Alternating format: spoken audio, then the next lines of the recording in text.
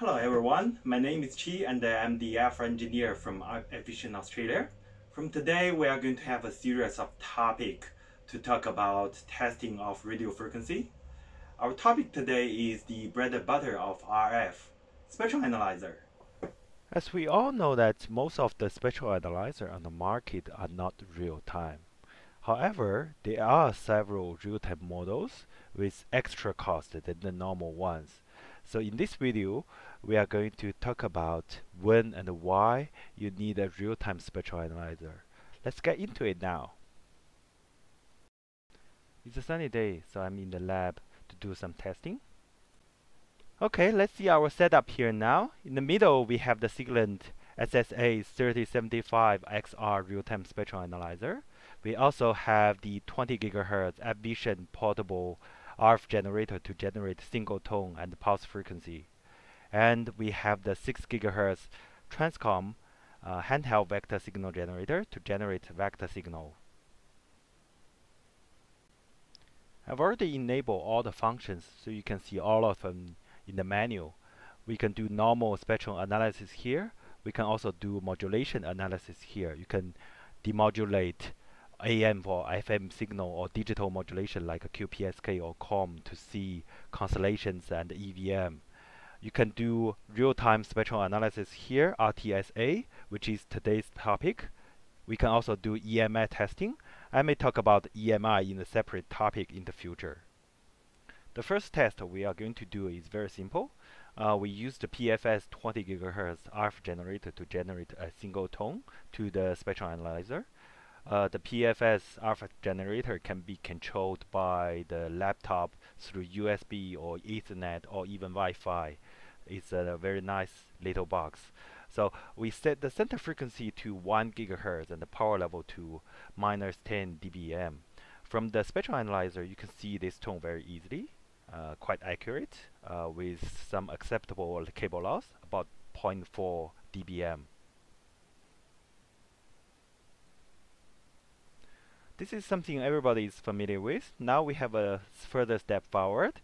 We turn on the uh, pulse modulation with 10 millisecond period and 10 microsecond pulse width. So the duty cycle is uh, 1 by 1000 and let's see what happens in the spectral analyzer. Just remember that the spectral analyzer now is not in real-time mode. So now you can only see some spurs which are caused by uh, the sideband of the uh, pulse-modulated tones. Uh, there is no stable uh, spectrum here. However, it's not the end of the world for the normal spectral analyzer. You can still use the max hold function uh, to capture the transient signal. Uh, max hold function is very useful too to use a multiple testing result to accumulate the spectrum display. It's not very accurate and uh, it takes a long time to get a uh, stable result, but it's better than nothing.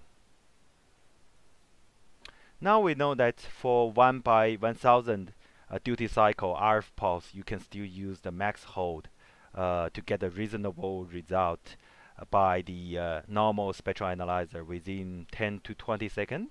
Uh, now we are going to switch this spectral analyzer to real-time mode to see how the real-time spectral analyzer to get the result very quickly. So we press the mode button and the RTSA. We can set the span to 25 megahertz.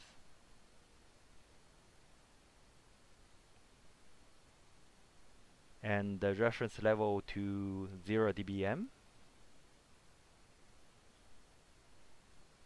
Now we got the spectrum in a second. We don't need the max hold anymore. We don't need 20 seconds to accumulate uh, the display anymore. So why the real-time spectral analyzer can get the results so quickly? The trick is the real-time FFT by hardware. As we know, when you use the software to do the FFT, you will have gap because it's not fast enough. By using the hardware to do the FFT, real-time spectral analyzer can make sure it's gap-free. And there are several different ways to present your result in the real-time mode.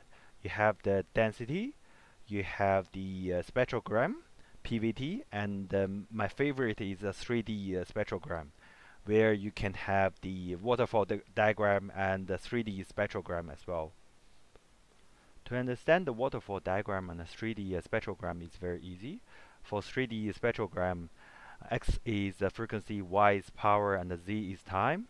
Uh, waterfall diagram is similar. X is uh, frequency, Y is time, and the color is power. In this test, we can see the real-time spectral analyzer can have a much better result very quickly without any gap. Now we can reduce the duty cycle further and see what happens. Now we change the parameter of the PFS RF generator and uh, reduce the duty cycle further from 1 by 1000 to 1 by 100,000. Let's find out what we can see from the normal spectral analyzer here. Oh, you can't see anything here. Remember we used to see some spurs when you when the duty cycle was uh, 1 by 1000. Now we are not able to see those spurs now. Maybe you can try our luck with the max hold. As you can see, the max hold is not making great difference. Uh, maybe we can see some small spurs over time. Uh, there's one here. And uh, maybe some more. Yes, there's another one here. But still, it's very difficult for us to identify those spurs are real signal or just a noise. The reason we cannot capture the signal is because for the small duty cycle signal, it's highly likely that the signal falls into the gap, so most of the signal is missing. Now it's time for us to use the RTSA. So we press mode, RTSA, okay we can see something here and maybe we change that to density and by the way we can also have the max hold in the density mode uh, you can see you can capture the spectrum in a second and you can still see the real-time spectrum uh, is flashing. Let's change that to 3D spectrogram you can see the pulse very clearly. You can also see the pulses in the waterfall diagram.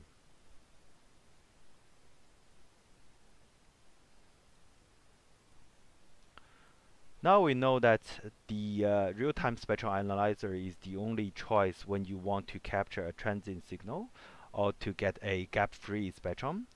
That's so much for today.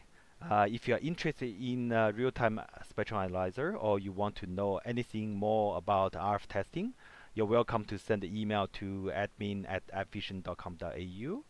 Uh, thank you for your time watching this video and I will have more topics about RF testing in the future. So see you next time.